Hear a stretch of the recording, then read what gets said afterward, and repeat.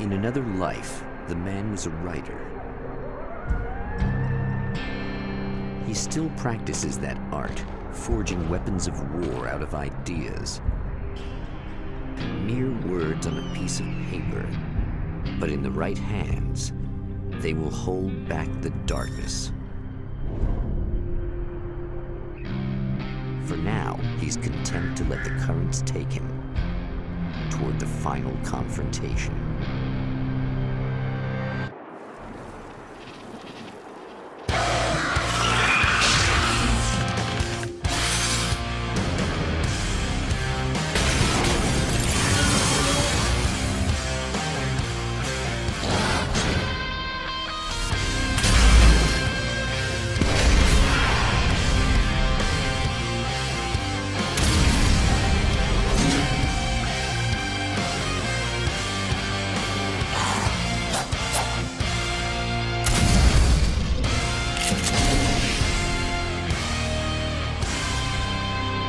Right on cue, bubbling to the surface from untold depths, the horrors come.